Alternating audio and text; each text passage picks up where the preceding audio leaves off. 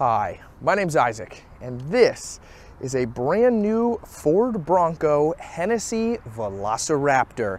And today I'm going to review this absolutely wild off-road SUV for you guys.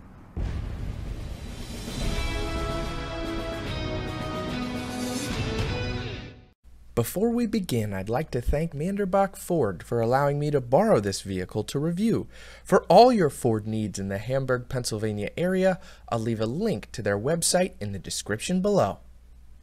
This particular Bronco started life as a regular Big Bend trim. It was delivered here to Manderbach, and then what happens is the dealership will send the vehicle out to Hennessy, where it gets upgraded, and then Hennessy sends it back to the dealer. And now it's on sale and I have the opportunity to talk about all these cool features with you guys today. What's really cool about Hennessy is they don't just do Broncos, they actually do a multitude of vehicles. In fact, Manderbach just got this Ram TRX as a trade-in, and they're considering sending this to Hennessy to be upgraded too.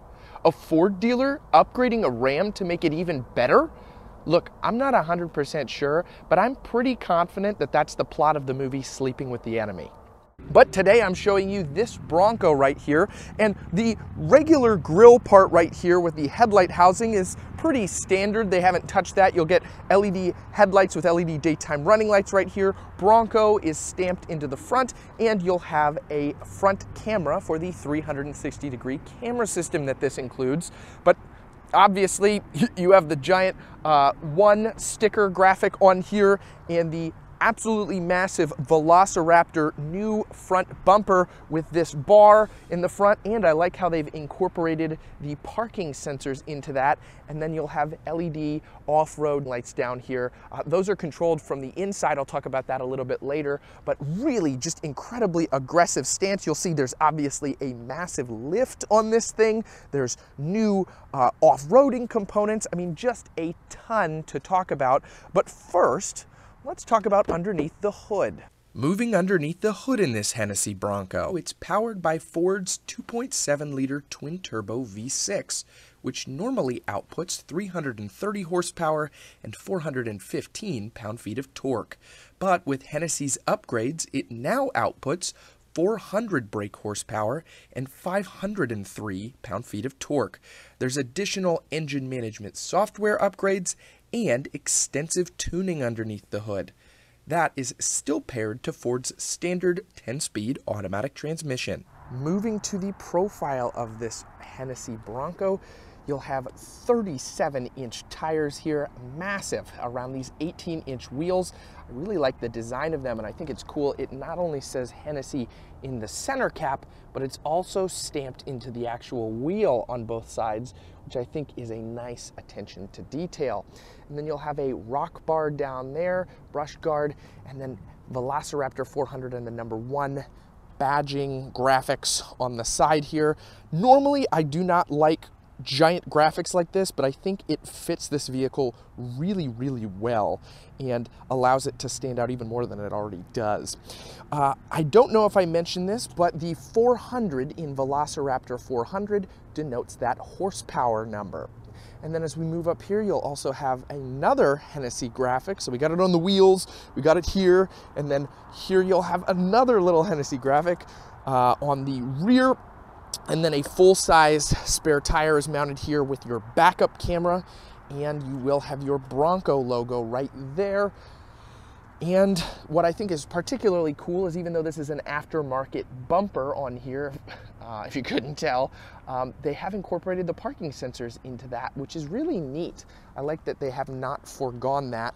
Traditional Bronco taillights though, if we open this up, we can pull this open and this part comes up as well to give us access behind the second row seats. Not a ton of room back here, but that is the sacrifices you make with a two-door. And then you have a little bit of storage down there. One neat thing I think is that, we hold on a second. I see this right here. See that right there? I'm gonna get that off. Ah, there we go. um, you'll have a little Bronco in the center of your light back here, and then you will have a 12 volt power outlet, which is cool as well. Now, this does have the ability to take off the roof, though this is the hardtop configuration, and I'm not gonna do that in this particular video, though it is still obviously fully functional. This is a regular Bronco after all with some massive upgrades. Speaking of upgrades, some of the other exterior ones include an upgraded exhaust system, high flow air filtration, an upgraded heat exchange, and a front and rear leveling kit. Moving to the interior of this Bronco, you might think that the cool Hennessy upgrades are exclusive to the exterior and under the hood, but that's not the case. This interior has some really neat upgrades as well. Starting here with the seats, you'll have Hennessy embroidered into the headrest, and then a little bit lower here it says Velociraptor with red stitching all the way down. They're really comfortable leather seats. And then over here you'll have red accenting in the door panel, and then up here You'll have grab handles stitched with red and black accenting as well to match the rest of that.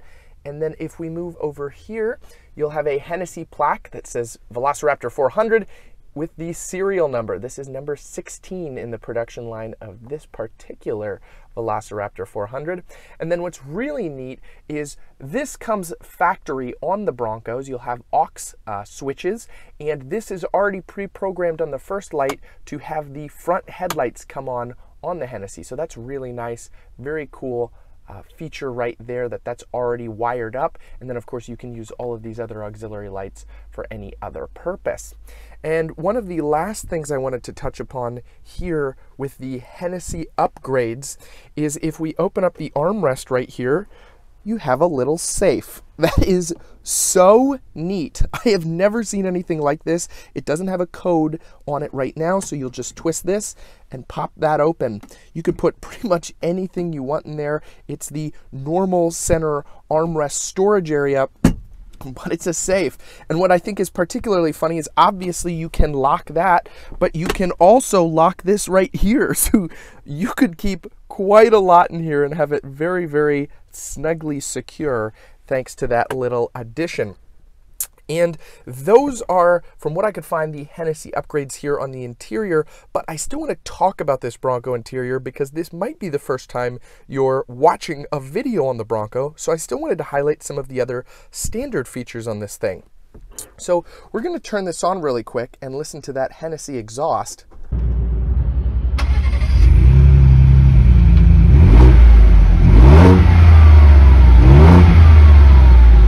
And then we'll start here on the door panel. Since these are removable doors, they are pretty basic. You'll have lock, unlock, and then your door handle right here. That's pretty much it. You have a little uh, pouch uh, netting here for um, storage, but not a lot. Anything to make this door as light as possible. Then down here, you'll have your lighting controls, your electronic parking brake, and your hood popper. And then here you have a, this is very glary, but you'll have a factory grab handle right here. Personally, when I was getting in, I actually found the Hennessy edition a little bit more useful to get up in here, um, or I would have preferred an A-pillar one, but you still do have the ability to grab that. And then in here, we have a fully digital gauge cluster. Well, nearly fully digital. The speedometer is still a physical gauge, so everything else is controlled from the steering wheel, and you have a lot of different off-road settings in here, and your standard Bluetooth navigation phone, stuff like that. But there's just tons you can go into, which is really, really useful. Here, let me tap off-road really quick, show you some of the stuff. You can do your pitch and roll, your power distribution, your tire pressure, that's all incredibly useful, especially on a beefed up version of the Bronco like this particular one. Then the steering wheel is leather wrapped and you're gonna have your controls for the radar guided cruise control, your volume, Bluetooth, stuff like that. And then if we move over here, you'll have the larger Bronco infotainment system upgrade right here. So this fills in the entire space, really large screen, very um, very quick, very responsive. You can kind of split the screen. So if you want navigation over here, you can have that while you have something else on the screen as well. That's always really cool. Uh, valet mode, hotspot, Amazon Alexa, uh, the standard features that you would get on most Ford models. Obviously, there is also Apple CarPlay and Android Auto incorporated into this. And then this does have a 360 degree camera, so there's a top down view and your backup camera if you want. And then right here, you can switch between which camera you want to see, which is really, really useful, splitting that up, especially if you're going to be taking this thing off road, which I expect most owners of this particular Hennessy would probably be doing quite frequently.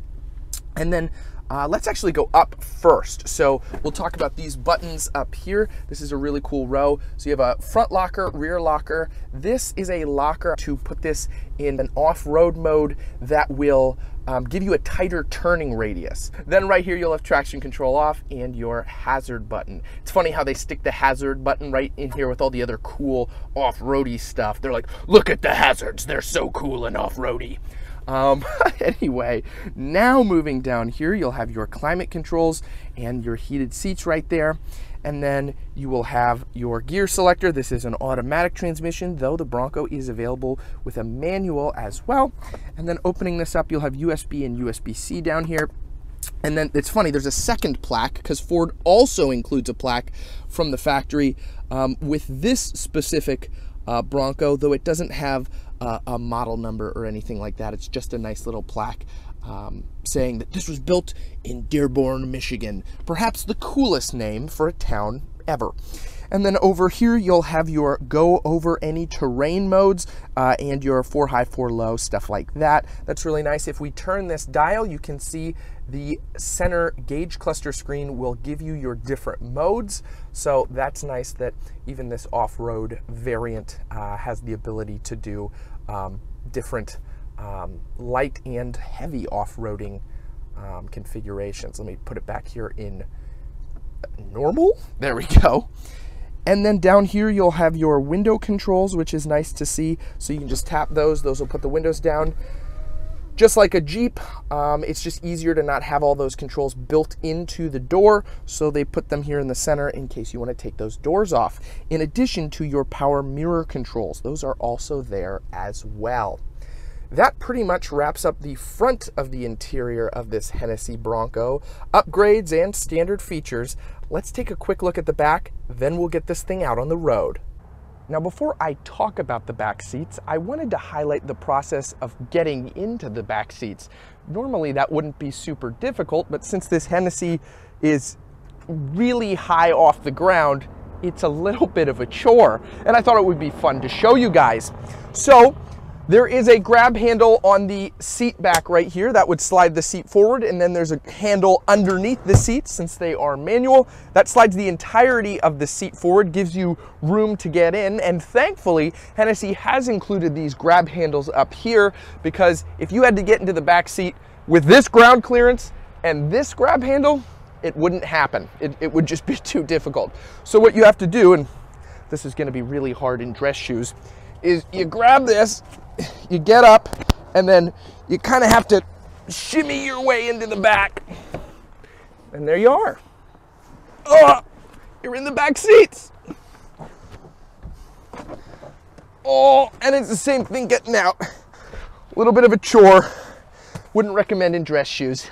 Moving to the back seats in this Hennessy Bronco, it was quite a process to get back here, but honestly, I have a fair bit of legroom. This is about where I would sit and uh, in the driver's position, and I have three or four inches of legroom, and I probably have about three or four inches of headroom. I am 5'9", just to give you guys an idea of how tall someone could be, and fit back here fairly comfortably. Definitely wouldn't want to be back here for too long, though. One of the nice benefits of these back seats is their stadium seating, so these are a little bit higher than the front row, and so that gives you, I don't know, a little bit more of an open feeling in here and uh, not as cramped. And so I really like that.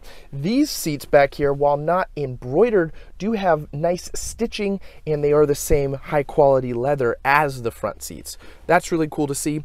My favorite thing back here is the no step uh, etched into the center console there. I think it's funny. I, I, assume they must have done some sort of testing that if you stepped on this, uh, I don't know why I pushed on it like it would break. Like I hope not. but um, I imagine they did testing that this would be very bad to step on this um, long term you could break the plastic or whatever. So i think that's funny they put that warning right there. And then down here there are some amenities. You'll get usb and usb-c as well as a household power outlet in the back of a bronco. That's nice. So if you did have to stay back here for a little bit longer on a road trip uh, you wouldn't be without um, some nice features which is really cool. Uh, that pretty much wraps up these back seats though. Let's take this thing for a spin all right, driving the Hennessy Bronco Velociraptor 400. That is a mouthful. Big name, but it is a very big SUV. We're gonna give it the beans here and floor it. Oh yeah, listen to that. That sounds incredible. And I'd expect nothing less from Hennessy.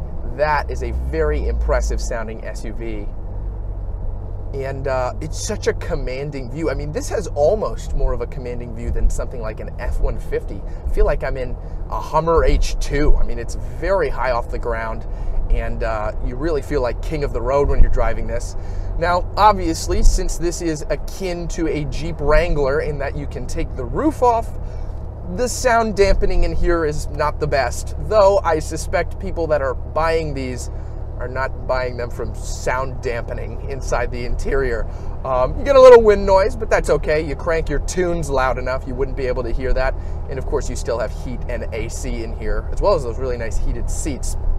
But this thing handles well even on the road. I was wondering how it would handle with such big 37 inch tires, but it probably wouldn't be the worst daily. It would definitely give you uh, quite a lot of attention on the road, but it definitely handles fine. And it's such a cool vehicle. I don't have the opportunity to review stuff like this very often, but Manderbach Ford actually has a couple of these in stock, uh, different configurations of Hennessy vehicles.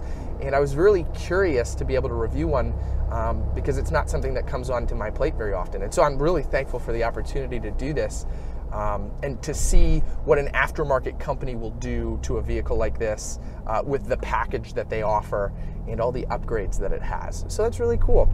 Uh, I think that's going to wrap up this driving segment. Thanks for watching. Sitting this close to a fire may look very aesthetically pleasing for a video, but I am burning up right now. well guys, that's pretty much going to wrap up this video, but before I go, I'd like to mention that I am a Christian and that if you have any prayer requests, I would love to be able to pray for you guys. You can leave those in the comment section below. And lastly, I like to close on a weekly scriptural reading. Today, I'm reading from Isaiah 43, verses 18 and 19. Remember not the former things, nor consider the things of old. Behold, I am doing a new thing. Now it springs forth. Do you not perceive it? I will make a way in the wilderness and the rivers and rivers in the desert. All right, guys, I'll see you next time. Take care.